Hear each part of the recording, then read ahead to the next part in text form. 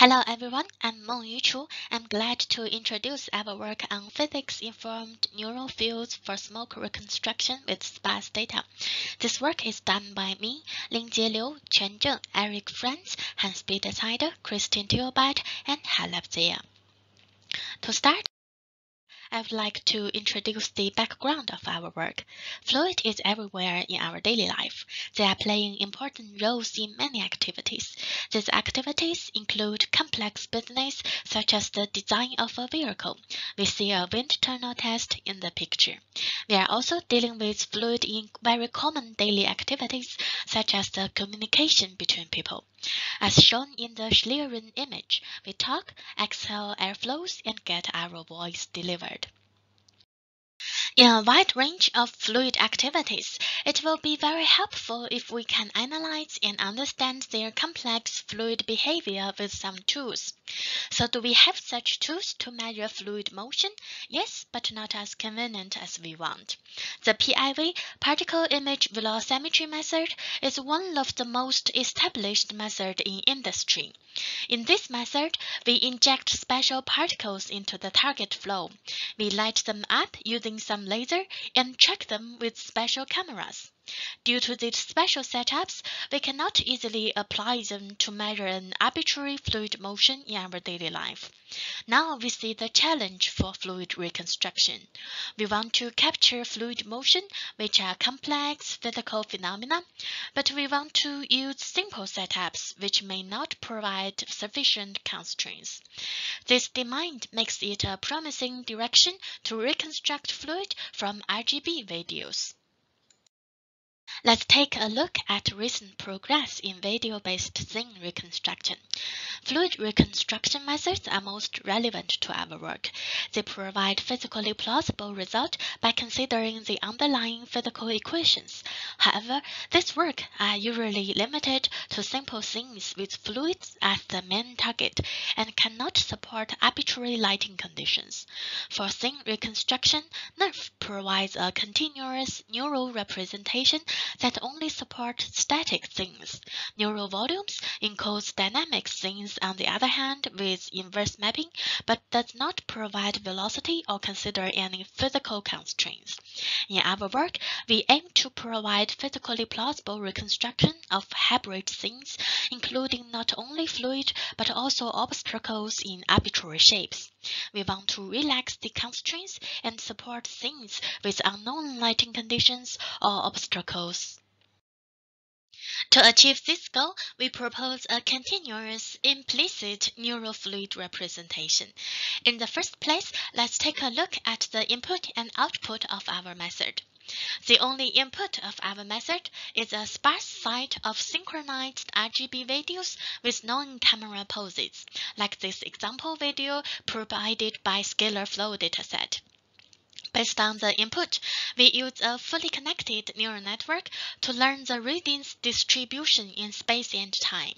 More specifically, the radiance network maps a 4D coordinate XYZT to its corresponding radiance, which is consisted by density and color. The relationship between input image sequences and this neural radiance representation is constrained via the differentiable rematching. If the input multiple videos have a good coverage of views, the network would be able to automatically disentangle the density and color information without relying on lighting conditions as input. This part can be seen as a dynamic NeRF model. In other words, we extend the static NeRF model along the time dimension to encode the time-varying neural radiance field for dynamic scenes. While differentiable rendering helps the static NeRF model to unify radiance information spatially using images at different camera poses, it is important for dynamic NeRF model to unify information temporally according to images at different time steps.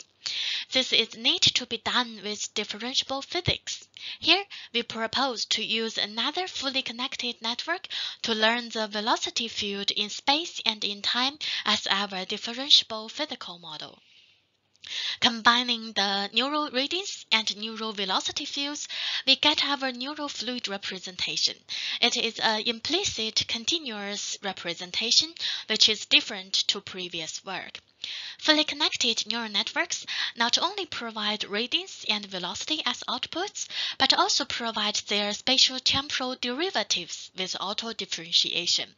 With these derivatives, we can apply physical equations as soft constraints to supervise the relationship between fluid density and fluid velocity.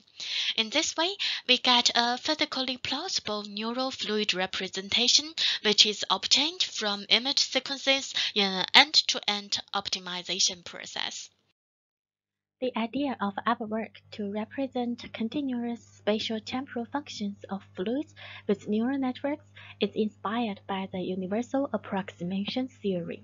According to the theory, there exists a fully connected network that can approximate continuous high-dimensional functions accurately.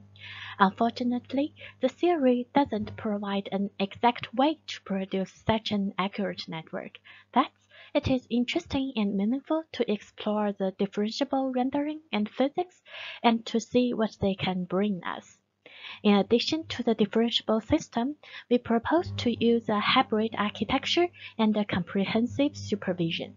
Together, our method achieves better accuracy than previous work. Here are more details about our hybrid architecture and comprehensive supervision. On the architecture side, we want to support hybrid scenes with moving fluid and static obstacles. Thus, we propose to use two fully connected networks to represent the radiance fields. One network represents the static components without time as input, and the other one has time t as input and learns the time-varying radiance for dynamic components. The advantage of such hybrid architecture is that the model can separate static and dynamic components automatically without additional human labeling or obstacle geometry as input. For the velocity model, we only sample and supervise at positions that are not occupied by any static density. On such an architecture, we propose a comprehensive supervision from images, physical priors, and data priors. Regarding images, we applied an L2 loss, a VGG loss, and a ghost density regularization. Regarding physics, transport equation and Navier-Stokes equations are used as soft constraints. As mentioned previously, we get the derivatives using the auto differentiation, and the network models are trained to minimize these equations with an L2 error.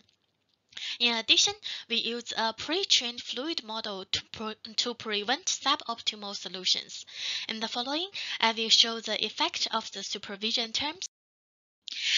on the image supervision, we found that VGG loss helps to keep better high-frequency details.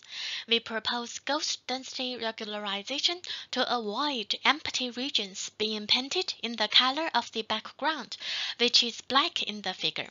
We name this artifact as ghost density.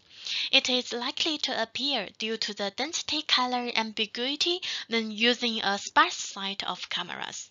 In such case, the network generate ghost density to trivially fulfill image supervision in given views, but it is not physically plausible.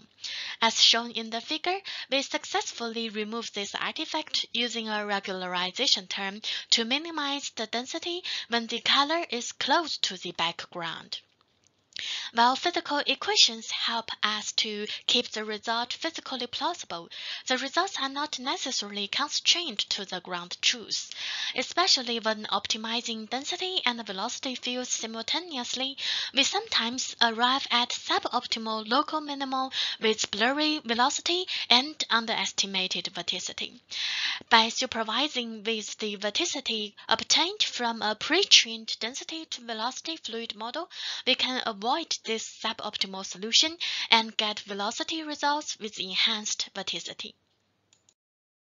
Here, we compare our result with related work on the synthetic ScalarFlow dataset. As shown in the video, the reference on the left has a black background. Using RGB video as input without an alpha channel, our method is able to automatically disentangle the density and color information. We provide a plausible color channel in the rendering results. To visualize the alpha information, we show our results with a different background color in blue. Here we show results in novel and rotating views. In the result of neural volumes, we see the ghost density artifact. Overfitting to sparse given views, neural volumes generates black smoke around, which should be empty and transparent regions. The last column shows the result of the global transport method. It contains a lot of high-frequency noise. The noise is more visible in the velocity and vorticity which are visualized on the top and bottom respectively. On the second row and last row, we show our result with and without the supervision of a pre-trained fluid model. With the help of the data prior, our final model provides an accurate velocity reconstruction which is close to the synthetic reference. We also have a more detailed quantitative comparison in our paper. In the following, we show more results on hybrid scenes with fluid and obstacles. The first scene is a regular one with a severe obstacle. In the first row, we compare our results with the reference in a novel view. A rotating view is given in the second row. We can see that our model with a hybrid structure can separate the obstacle and the smoke successfully. In the velocity visualization from the front, side, and top views, we can see that the velocity is reconstructed accurately. Here we show more results on a gate scene. In the given view, we can see that the smoke is coming from a tube and hitting three monsters on spears. This is a complex scene with difficult geometry and strong motion when smoke hits the monsters. Our results in the novel view match the target scene well. We also render our results in a rotating view. Likewise, the hybrid structure can properly separate static obstacles and dynamic smoke.